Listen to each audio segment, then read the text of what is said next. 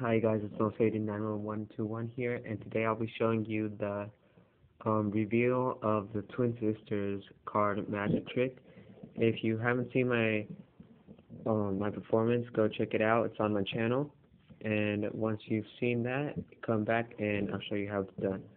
So of course you're going to be needing your four queens. Okay, so what you're going to do is you're going to take one queen, put it on the bottom, and the other same colored queen,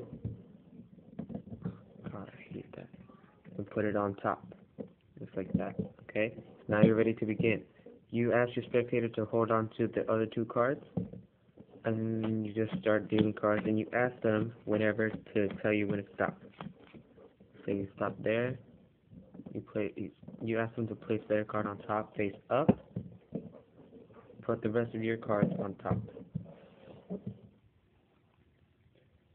And then you start dealing cards again. One, two, three, four, five, six.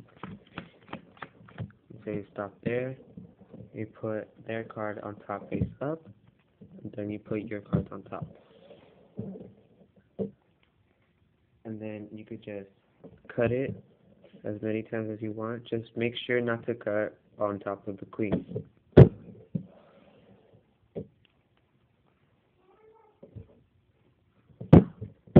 There we go. Now, if you look for their queen, if you look for their queen, your queen will always be right in front. So there's their queen, and their your queen is right there.